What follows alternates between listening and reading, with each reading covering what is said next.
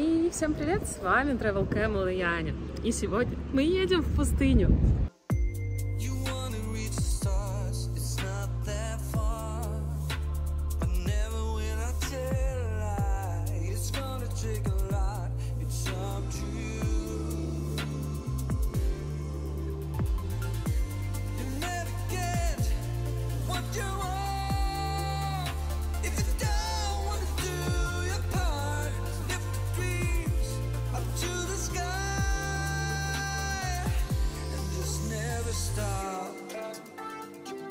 Когда я впервые увидела фотографию белой пустыни в Египте, я поняла, что хочу там побывать. Так что, недолго думая, я купила тур. Нас привезли в небольшой гестхаус. Он выглядел достаточно симпатично и находился в прямом смысле посреди ничего. Вокруг заботливо высадили какие-то растения, смотрелось очень мило. Нас провели в небольшую комнату, напоили чаем, а дальше как следует покормили. После этого нас всех упаковали в сафари-джипы, и мы двинулись навстречу Сахаре. А знали ли вы, что Сахара вторая по величине пустыня в мире? Она уступает только Антарктической пустыне. Вы скажете, что? Антарктическая пустыня? Это место, покрытое льдами? Да-да, все дело в том, что если вернуться к такой базовой характеристике пустыни, то это территория, отличающаяся засушливым климатом, где крайне редко выпадают осадки. А, собственно, в Антарктике очень редко выпадают осадки, так что все сходится. Антарктика, получается, первая по площади, а Сахара вторая. Ну, конечно, Сахара будет в разы жарче. Хотя в связи с изменением климата за последние 20 лет уже 4 раза в Сахаре выпадал снег. Приведу тут несколько фотографий. По-моему, выглядит очень красиво. Первым делом, так сказать, для разогрева мы поехали в Черную пустыню. Много миллионов лет назад на этой территории были горы и огромный действующий вулкан Туфу. От него на данный момент уже ничего не осталось, а вот пустыня до сих пор покрыта плотным слоем черной пыли, камней вулканического происхождения, который называется долерит, и черной лавой. Очень эффектно выглядит контраст оранжевого песка и этих черных полос, стекавших когда-то лавы. Когда все вдоволь нафотографировались, мы снова прыгнули в джипы и двинулись навстречу следующей остановке, которая была весьма скоро.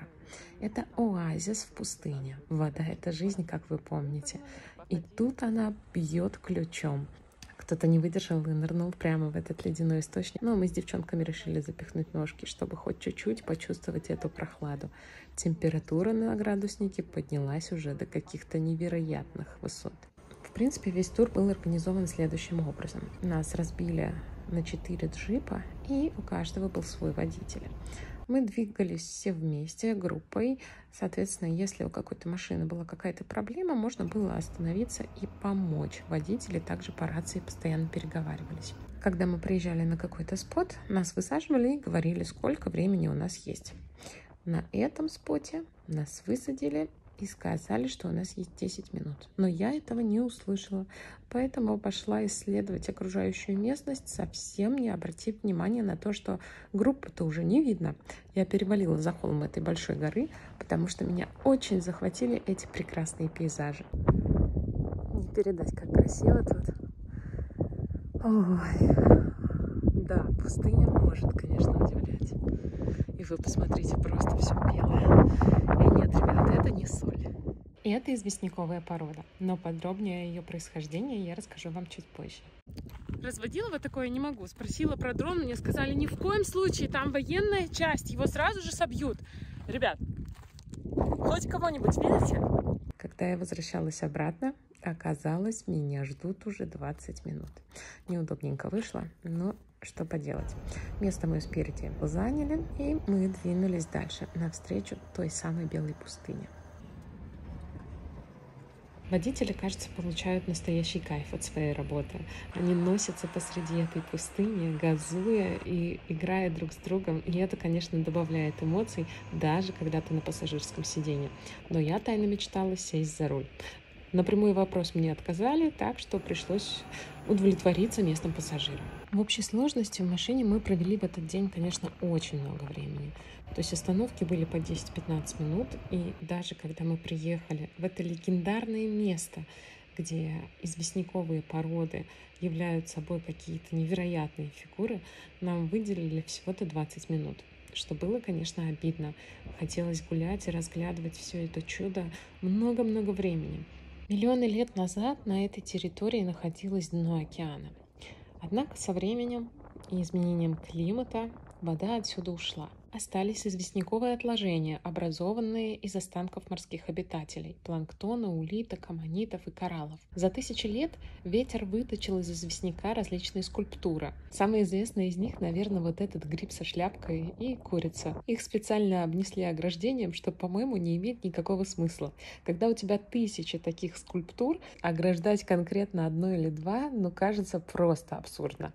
Жалко, конечно, что их все не обнесли ограждениями, потому что несознательные туристы, как я, например, подходят, обнимают и хочешь не хочешь и стирают часть этих меловых скульптур. То есть в буквальном смысле, пофоткавшись рядом с таким столбиком, я потом была вся в меле. Никогда в жизни не видела ничего подобного. Это какое-то особенное место. Как вы понимаете, камень достаточно мягкий, крошится и легко окрашивает все вокруг. Помните, я иногда записываю бестолковые видео, чтобы просто напомнить себе, что я была в таком месте. Вот сейчас одно из таких, какое-то невероятное. Песок, песок настолько мягкий, что, знаете, становится жестким. Как на таком спать, не представляю. Говорят, что в 2002 году Белая пустыня была объявлена национальным парком. Тогда здесь появились смотрители. Но вот поверьте мне на слово, за целый день путешествия я не увидела ни одного. Уезжать нам отсюда категорически не хотелось. Хотелось ходить и больше смотреть исследовать эти причудливые камни, но тянуть дольше было нельзя. Нам сказали, что нам надо поставить лагерь до темноты. Так что мы отправились искать место для ночлега. Наш кемпинг на сегодняшнюю ночь выглядит так. Палаток две, а нас 20. Как будем делить, пока непонятно. Вообще предложили спать на улице, в буквальном смысле. Мне кажется, надо воспользоваться такой удивительной возможностью.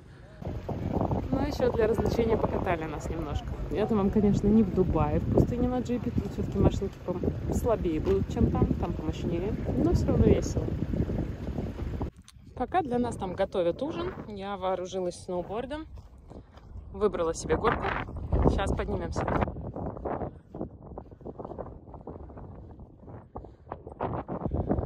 Что, готовы?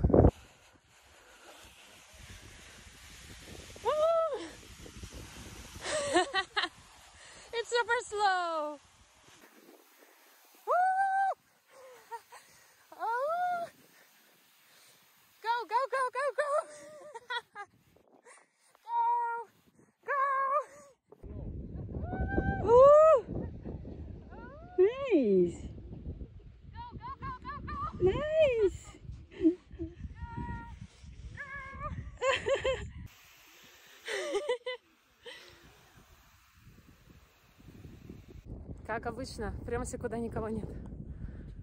Идеальный вид. Идеально веселый вечер. Все грязные, блин, потные. Помыться нам точно не светит. Но experience супер необычный.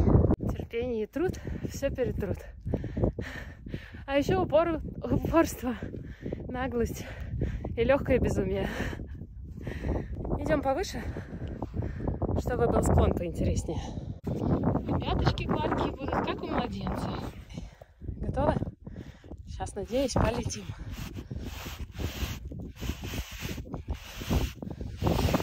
Ни хрена не полетели. Столько трудов впустую. Прям вот обидно. Никакого толку от того, что так высоко залезла. Окей, я еду, но безумно медленно, я не знаю.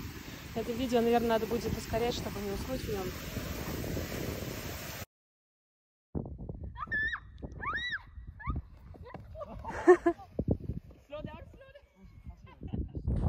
Смотрю вот я на эти ворота и понимаю, мне туда надо. Наверное, это ворота в мою новую жизнь. Так давайте пройдем через них. Итоги дня. Красные, надутые песком глаза. Куча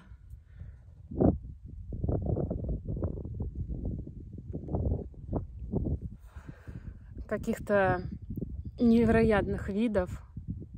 Обгоревший носик. Очень много песка везде. Везде, везде, везде. И куча классных воспоминаний. Знаете, я думала, ехать мне в эту пустыню или нет, господи. Мне кажется, можно никуда в Египте не ехать, сюда приехать. Конечно, большую часть времени вы проводите в машине, потому что от места до места достаточно долго ехать. А на самих местах у вас бывает 15-20 минут. Но кажется, что вся дорога того стоит. Лицо, сожженное солнцем. Обветрившиеся губы. Истощенное состояние.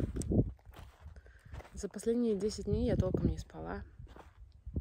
Завтра подъем в 5 утра, чтобы успеть посмотреть все, что хочется.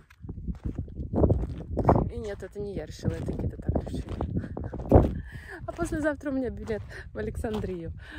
Ай, веселые я себе каникулы устроила под конец. Пытаюсь выжить максимум из того количества дней, что у нас с вами остались. Поскольку облаков сегодня нет, солнце просто тюкнулось за горизонт. Так что иду обратно в лагерь. Нас ждет ужин на костре и, надеюсь, душевные разговоры.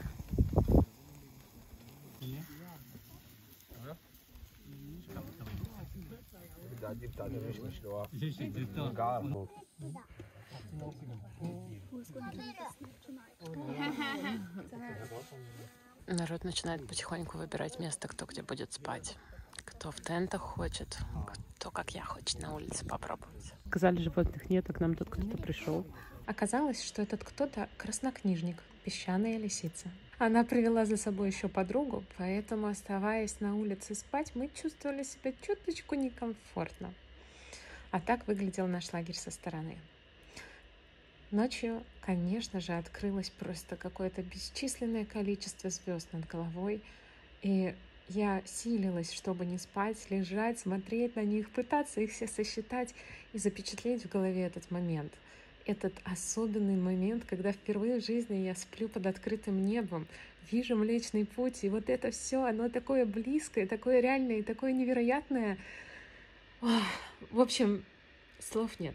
Желаю вам чудесного дня, вечера, ночи, чтобы у вас там не было. Спасибо, что провели со мной этот день. Я вам крайне рекомендую отправиться в такую экскурсию, когда вы будете в Египте.